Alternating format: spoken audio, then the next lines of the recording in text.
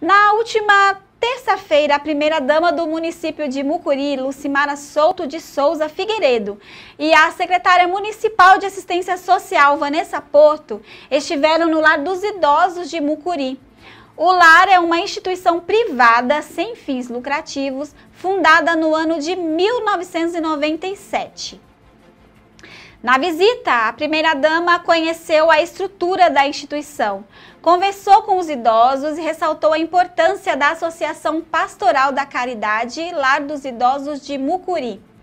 Lucinha e a secretária Vanessa Porto fizeram a entrega de mantas que foram arrecadadas em prol da campanha do agasalho a gente fica aqui feliz, né, quando vê essas ações. Então, eu quero parabenizar aqui a primeira-dama de Mucuri por essa ação. Tá frio, então, muito bem pensado nessa campanha aí.